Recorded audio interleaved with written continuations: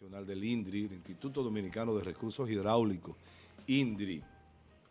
Estaba, ya está con nosotros el ingeniero Olmedo Cava Romano, con quien vamos a conversar acerca de la, la Cañada Grande, el tema de Cañada Grande, Olmedo, el tema... Y el llamado de la- a huelga. El llamado a huelga, el tema de las promesas que se hicieron acá, que incluso tú tuviste una participación un tanto protagónica en ese aspecto.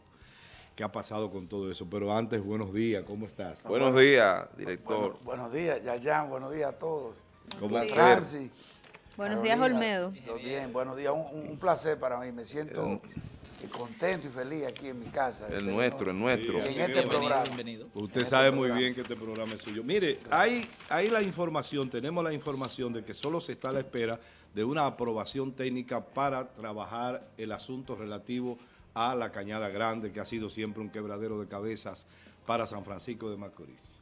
Comencemos por ahí, Olmedo. Mira, eh, eh, realmente eh, lo que pasa es que los proyectos eh, en el actual gobierno realmente tienen que cumplir con, con uno- unos procedimientos realmente que, que contempla la ley. Sí. Tienen que ser aprobados por lo que es la inversión pública del Ministerio de Economía, Planificación y Desarrollo. Por eso, por ejemplo, el año pasado el presidente hizo una asignación de fondos para iniciar una serie de obras que el senador de nuestra provincia eh, a- a- a- a- que había consensuado ¿verdad? con diferentes sectores de aquí de San Francisco, por ejemplo, como son eh, el puente de Ugamba, eh, traslado de los bomberos, un nuevo, ah, lo que, lo que le llaman la 3R, el proyecto de Franklin, que todos, todos conocemos. Sí. Sin embargo, ese dinero estaba guardado y apenas hace eh, dos meses, mes y medio, cuando vino el presidente, fue se dio el primer Picasso para la primera obra. Todo ese tiempo que transcurrió, nueve meses, fue preparando lo que son los estudios, porque es que antes los proyectos arrancaban sin planos, sin especificaciones, y un proyecto que arrancaba en, en- en 100 millones, salía en mil millones, 500 millones. Pero a veces no es quizás que había irregularidades en cuanto a la inversión, sino el procedimiento. Entonces eso realmente conllevaba que los proyectos eran muy cuestionados. Ah, un proyecto que arranca en, en- en 100 millones y termina en 800, ¿qué va a decir nuevamente la población? Se cogieron un dinero. eh, entonces todo eso se está, lleva un proceso, además un control riguroso con respecto a las inversiones. Eh, y eso tiene un procedimiento. En el caso de la Cañada Grande, eso hay que estudiar el impacto, a quién va a beneficiar. Todos sabemos los diferentes sectores, pero todo eso conlleva una serie de estudios, de cálculos y demás. Ya entendemos nosotros que está en su fase final. Desde el año pasado tenemos nosotros una asignación de la primera partida para ese proyecto guardado ahí. Pero no se ha completado. eh. No, es que eh, esos estudios ya se terminan ahora. Nosotros creemos, eh, eh, nosotros creemos que a final de este mes o antes ya va a salir el, proyecto para arrancar inmediatamente. Y hay otros proyectos. nosotros estamos ya en, en el estudio fase final, lo que es la cañada de Puerto Rico, que le llaman allá en la- en la- en la Ah, el barrio En el Puerto barrio Rico. Puerto Rico. en el barrio Puerto Rico, la cañada de Puerto Rico, Sí. que realmente yo eh, eh, es un dolor de cabeza y nosotros tuvimos por ahí es una, eso de- es una agua, ¿verdad? una inundación eh, permanente cada vez que, incluso aún cuando no habiendo lluvia, por un asunto de agua negra y demás. Que nosotros vamos a ayudar porque el INDRI, aunque básicamente trabajamos lo que tiene que ver con los canales y demás, pero estamos trabajando con el saneamiento de algunas ciudades en la parte... Bueno, y el- como es lógico, eh, nuestra ciudad... El eh, tema de no- la cañada, de las cañadas, eh, debe importarle al INDRI en razón de que la Claro. van la, esas son canales naturales, que van a los ríos, a nuestros Claro, afluentes. pues, son de microcuencas y demás, Correcto. a la ciudad. Ahora una cosa, Nosotros por- estamos, por ejemplo, en San Juan de la Maguana estamos terminando una cañada que la encontramos ya en construcción, que va a cambiar totalmente lo que es la parte urbana de, de Es San decir, de- que, el, proyecto termine que se integre la cañada a la comunidad o que la comunidad ya de una forma u otra vea una, un, un lugar. Eh, es un proyecto integral. Eh, ya las comunidades están ahí, los barrios están ahí, entonces hay que hacer un proyecto que sea amigable con los residentes, con, con los, y, y además eh, eh, contribuir con el saneamiento y, y- y las inundaciones. Mira, ahí por ejemplo, en la calle Sánchez, lo que tuvimos recientemente, Sí. creo que está obstruida todavía, no, no, sé. ya se, Bueno, se habilitó provisionalmente. pero yo- Provisionalmente. Pero yo estuve ahí y eso realmente ya requiere una intervención urgente, urgente. Eh, una cosa, entonces con esta con esto que usted nos está dando de información y de que están esperando solamente concluir algunos detalles, ¿entiende usted o qué mensaje le da a este grupo popular que está llamando a huelga y por esta, entre ellas, la Cañada Grande es una de las exigencias? Y si hay una reunión o si hay algún acercamiento con, con ellos, como autoridad? Eh, eh, nosotros hemos estado eh, en diferentes oportunidades, hemos estado, hemos celebrado encuentros con ellos, con diferentes sectores aquí en San Francisco Macorís, como es nuestra costumbre. Y en el caso ahora de, ser parte de, del gobierno, ya un compromiso que tenemos que asumir. y realmente y tú sabes que las obras, eh, por lo que yo le expliqué anteriormente, eh, requieren un poco más de tiempo. Por ejemplo, eh, Obra Pública estuvo licitando lo que es el asfaltado. Primera vez, óigame bien, primera vez que se licita el asfaltado general de, todo el país, de la planta de asfalto. Antes eso se daba directamente. De grado a grado. bueno, porque había, había una ley que parece que se entendía que podía permitir eso, en el aspecto de que eso es realmente un servicio, diríamos, de seguridad y de emergencia, el, asfalto. Eh, por ejemplo, si interrumpe una vía, tú no puedes hacer una licitación, para, tú tienes que resolver inmediatamente. O sea, había una serie de argumentos. Sin embargo, el presidente decidió que fuera licitado. Eso cogió un tiempo. Creo que apenas hace como eh, dos semanas o tres semanas se hicieron las adjudicaciones y se está en ese proceso ahora. Y entonces... Está San Francisco. Eh, claro, lógico. Aquí hay un programa, Obra Pública lo, lo ha hecho un anuncio el ministro cuando nosotros estuvimos en Villarriba, el ministro de Obras Públicas hizo un anuncio. Es que hay un programa de asfaltado de San Francisco de, toda de todos los municipios y distritos municipales de, la provincia de Duarte. Eh, ingeniero, un programa general en ese aspecto. Escúchame, permítame interrumpirlo ahí a propósito de que usted está hablando del proyecto de asfaltado.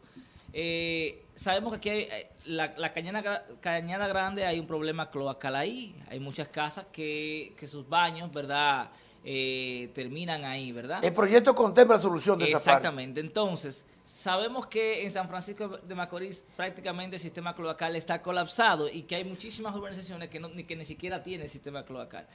¿No entiende usted que antes de nosotros abocarnos a un, a un, proyecto masivo de asfaltado en la ciudad, deberíamos pensar en resolver los problemas de abajo primero? Por ejemplo, como es el caso de la de tanto del, del agua, del acueducto, como también del sistema cloacal, como se está haciendo en Pimentel, que veo que está rompiendo todo. En Pimentel, en, Castillo y en Villarriba. yo a, en, los tres, no lo he visto, pero sí. Lo, lo, eh, puede ir a ver, se está trabajando en los tres en los tres municipios. Por primera vez se está atendiendo el sistema cloacal. Sí, eso está muy bien, yo lo vi en Pimentel. Y se va a trabajar en San Francisco. Lo que pasa es que el proyecto de San Francisco ya es un proyecto de cierta envergadura y hay que reservar los fondos para esa parte. A propósito de eso, ustedes, por ejemplo, como dirigente, alto dirigente del gobierno de La Guardia se va a intervenir también. Yo entiendo que eh, le corresponde a usted defender primero el, que el gobierno trate de hacer la inversión necesaria, por ejemplo, como es el caso del sistema cloacal, para entonces luego venir con un plan de asfaltado para no tener que romper dos veces. Eh, estamos claros, pero tú sabes que, hay urgencias y demás, y, eso, y así es que se está haciendo.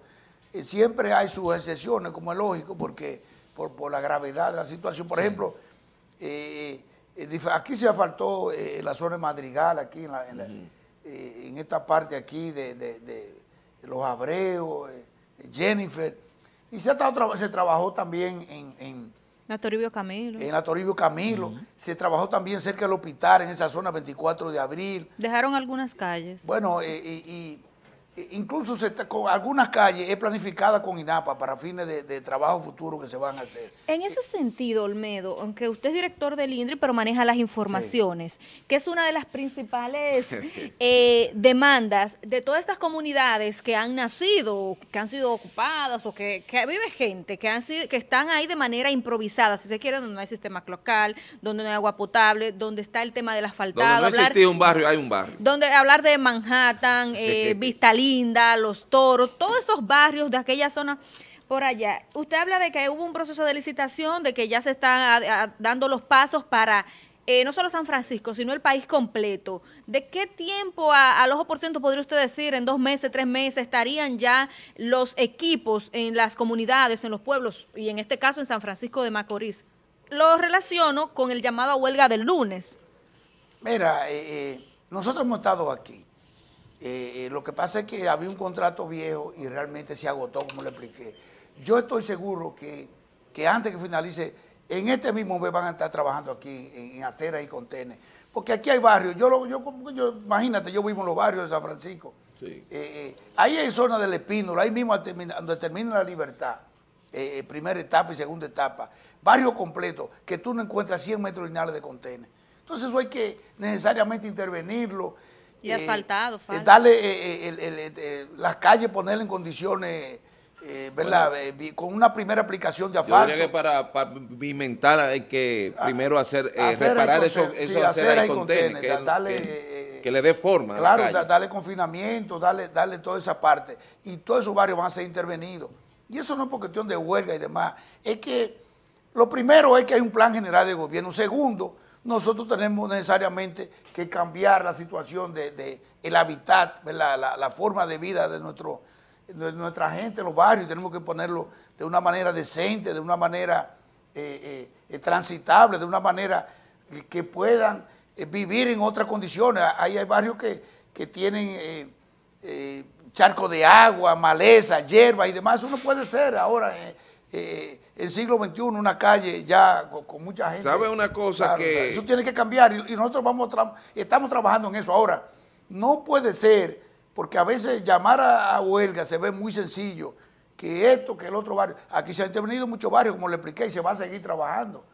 Eh, eh, en, en Vista Valle también se ha estado trabajando. Perdón, Francis, y perdón, Amado. En ese mismo sentido, ¿ustedes eh, tienen la intención de reunirse con los convocantes? Mira, eh, eh, está programada una reunión hoy a las 10 de la mañana Ok. pues, con ellos y yo estoy seguro que, que, eh, que pudiera Que se da a- un entendimiento. Ahí era mi pregunta. Pero, aquí se está si era trabajando. falta de comunicación No, que no, había, porque tenemos- la, la parte que usted ha dicho es que se está trabajando. Exacto. Y ellos, Ellos decían están que- llama- ellos están llamando a huelga en razón de que hay un incumplimiento. Y le hacíamos esa misma pregunta a ellos aquí en Claro. vivo. Mira, nosotros estamos terminando la, la, la, la, eh, la carretera San Francisco de Macorís a Controva.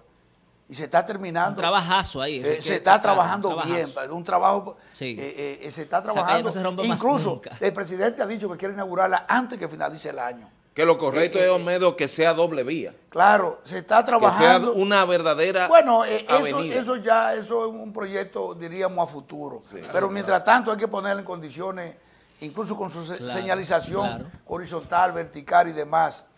Eh, por ejemplo, ¿qué se va a intervenir rápidamente ahora, que yo le aseguro a ustedes? Eh, la parte de la carretera de aquí, por lo menos hasta la Codal, hasta la entrada de la Guarra, que eso está muy mal.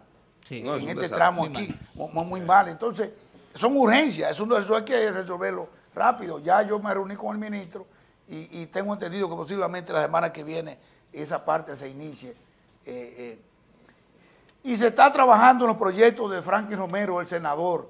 Aquí se, aquí se van a hacer. Explíquelo bien ese, aquí se van a hacer. Romero. Oye, aquí se van a hacer más de 800 apartamentos. ¿Qué tiempo Eso hace es. que no se hace un apartamento aquí del No, gobierno central aquí en San Francisco de Macorís? El último fue el de Aguayo que ocuparon cuando... Bueno, pero- Que se los repartieron entre un grupo de canchanchanes fueron- ahí. Exacto. Pero esto es un que proyecto realmente eh, eh, que va a impactar. Y que va a Estamos tener- hablando de, desalojar los, los- moradores de- del barrio azul. Que, Que hay un acuerdo con ellos, hay un inventario. que hecho. sea que sea desalojado, No, no, no. que ya no permanezca ese eso- cinturón de eh, miseria no. y de impacto. Pero en el proyecto de, ahí va una avenida, en el proyecto de Franklin Romero, o sea, que presentó Franklin.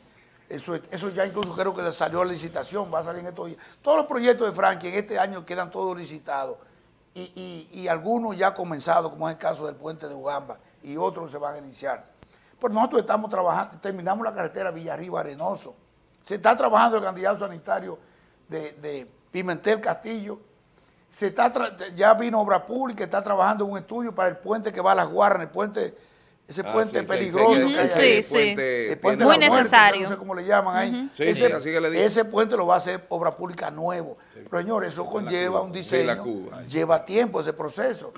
Igualmente se va a hacer un trabajo en el asfaltado de la carretera Guisa eh, hasta el, el río, el río eh, Yuna, allá en, en, en- en la zona de, de- de- de- de las Guarnas, acá, Olmedo. antes de cruzar Angelina. Eh, ¿Tiene usted la información en qué punto está, qué se está haciendo con la avenida Circunvalación, el hospital regional? ¿En qué, en qué está, Se la- está las obras? Se está trabajando. Ustedes saben que ese proyecto eh, del, del- del hospital, eh, como es lógico, eh, las nuevas autoridades sanitarias de, de ministros de salud eh, dieron algunas opiniones con respecto al diseño del proyecto. Eso conllevó un tiempo, esos estudios. Ya se pusieron de acuerdo con el Ministerio de la Vivienda, que es que está ejecutando, era antes de la OISOE, ahora Ministerio de la Vivienda, y ya se está avanzando.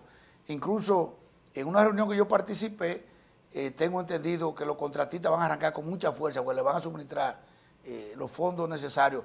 Había que transferir los fondos de la anterior OISOE al Ministerio señora, de Vivienda, y eso conlleva muy, mucha burocracia. Muchos Eso procesos. No, es un proceso que realmente no es tan fácil, pero ya todo eso está corregido, está ya bien, Mira. y se va a trabajar. En el caso de, de la circunvalación, Eh, lo que ha pasado es que eh, lo que tiene que ver con el derecho de vía, eh, ya entonces se están poniendo de acuerdo con algunos propietarios de terreno que ya creo que está en su etapa final, porque ya donde en la otra parte se ha trabajado. O sea, Que que- había un Yo me imagino, aquí, claro, ¿verdad? Por el claro. lado Yo me imagino que eso debe ser un dolor de cabeza. Ah, pero porque Y los dueños le Ah, Olmedo. que, lo- que quieren que le hagan, pero no ceden. Esta es. preguntita que no en le... esa parte tenemos y que y ceder. le- y le multiplica por mucho el Pero claro. Claro. Olmedo, miren esto, qué bueno que alguien nos escribió para que nos lo recuerde. Vamos a ver, ¿qué es? qué es El tema de los desvinculados y el pago, Ey. que se entendía que esos recursos ya lo había recibido el INDRI, pero que aún no se le ha... eh, No, en el caso del indio, nosotros, no- nosotros los recursos hemos tenido siempre. ¿Y, eh, nosotros trabajamos planificado.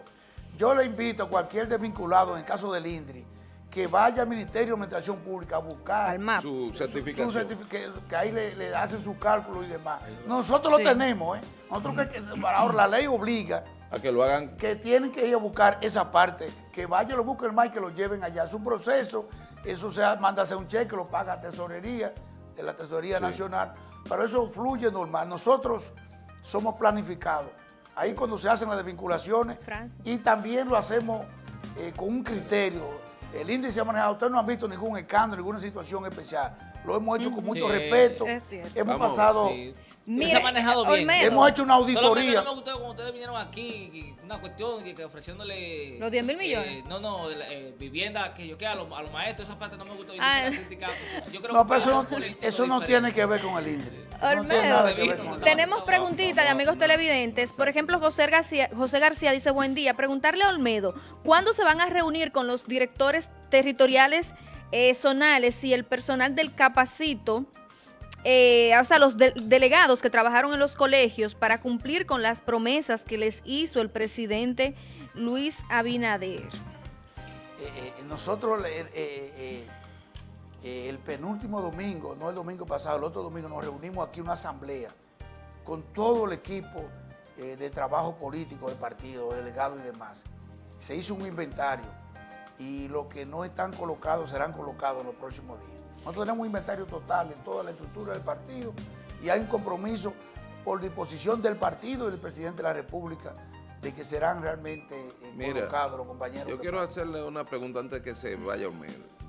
Hay una tensión porque hoy hay una marcha caravana, un- una motorizada, como especie de preámbulo a lo que ellos van a hacer el lunes, como protesta.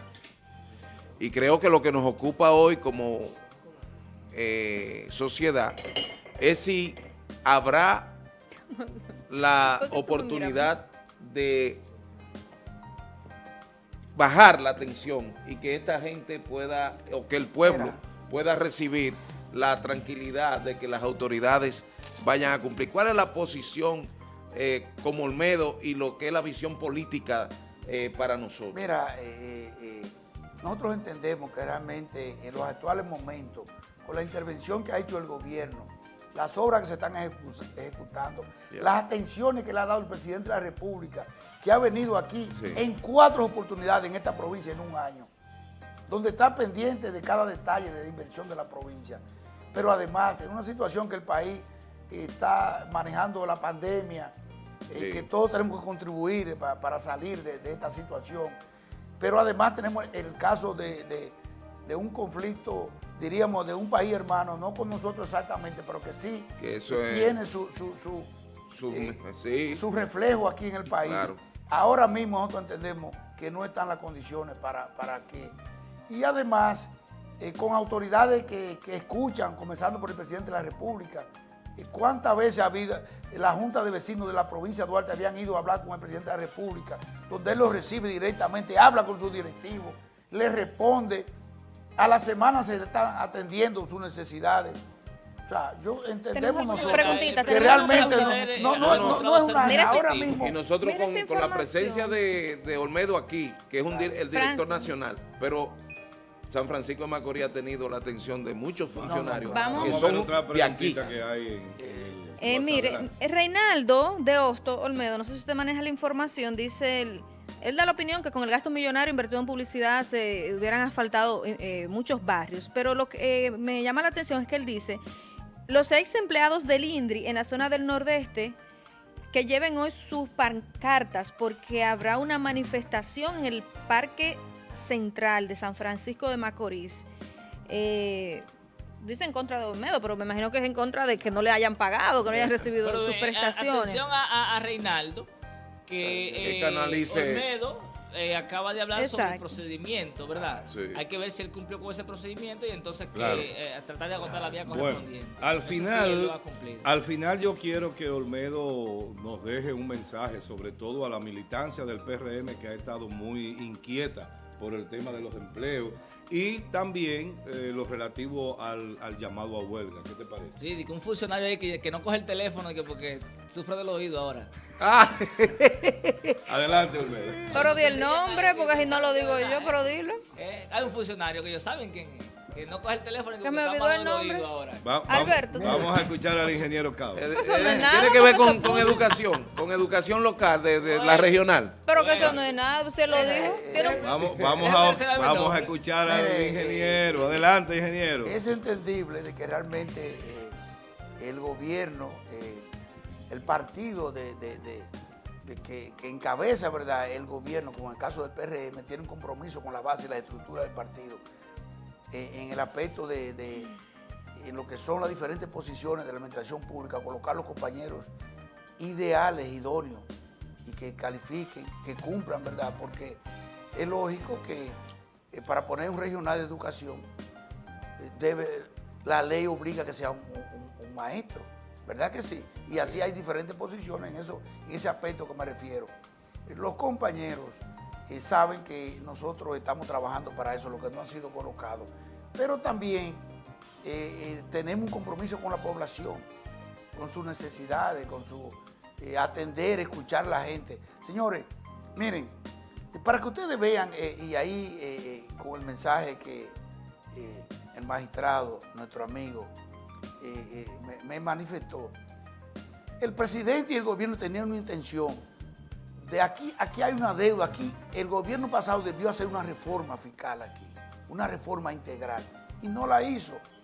Y realmente se requería a nivel financiero hacer esa reforma. Sin embargo, el presidente escuchó diferentes sectores. Señores, e- eso, eso, eso es muy raro, muy difícil verlo. Cuando un gobierno está decidido en una medida y escucha a los diferentes sectores y realmente hace, eh, eh, eh, se recoge, como se dice, ¿verdad? Y, y- y escucha a la mayoría y realmente, miren lo que pasó con la reforma. Todo el mundo la ha apoyado la decisión del gobierno. Y ahora, entonces, ¿qué significa eso? Que el gobierno tiene que hacer un reajuste a nivel financiero y también eso afecta a lo que son las inversiones. Pero estamos seguros, como dijo el presidente, que recortando de diferentes lados, invirtiendo como debe invertirse, con transparencia, invertir con las prioridades, con las necesidades, no obra realmente de antojo de nadie, sino obras que sean comunitarias, nosotros eh, vamos a cumplir con, la necesidad, con las necesidades y los requerimientos del pueblo. Eh, por, por ejemplo, en Las Peñas nos escriben que tienen dos meses sin agua, pero no solo en Las Peñas, las diferentes comunidades de San Francisco y, y del país, porque es un tema nacional. La escasez del agua, Dios mío, tener acceso en los hogares a- a- al agua potable. Eh, eso es un tema, yo soy de La Peña y ellos saben que nosotros estamos trabajando eso. Bien. Eh, incluso con INAPA. En los próximos días viene Wellington, precisamente nada más, nada para atender La Peña. Muy bien. Pero. Wellington ha estado aquí frecuentemente y en todo, yo diría, en la mayoría de los municipios de nuestra provincia, yo puedo asegurarte que el agua ha mejorado por, por la intervención que ha hecho INAPA, eh, Por eso corrigiendo nos alegra y esperamos que Agradecemos lleguen a, un ac- a un acuerdo de Agradecemos sosiego. al ingeniero hoy. Olmedo Cava, Claro. director ejecutivo del Instituto Nacional de Recursos Hidráulicos INDRI, esta entrevista.